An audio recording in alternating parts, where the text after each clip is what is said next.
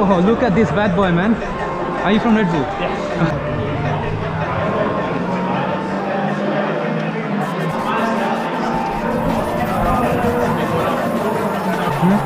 I well. Hmm? Yeah, it's got a mic on as well. Boonies free.